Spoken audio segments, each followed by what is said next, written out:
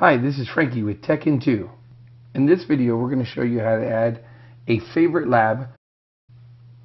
So the first thing you do is click on Add. It will take you to the website, sironaconnect.com.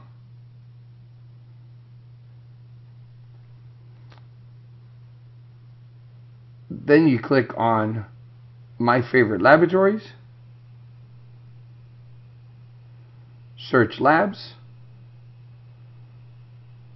Scroll down.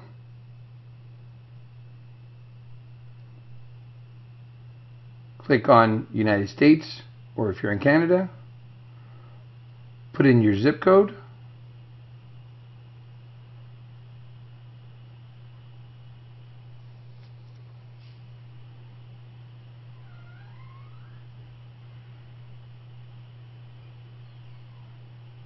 Click on Start Search.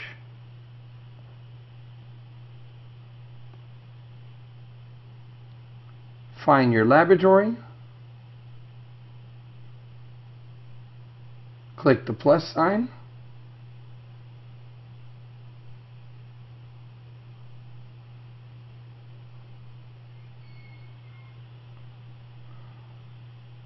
Once it loads,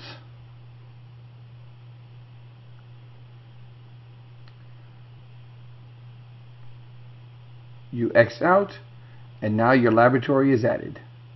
Thank you for watching Tech-In2.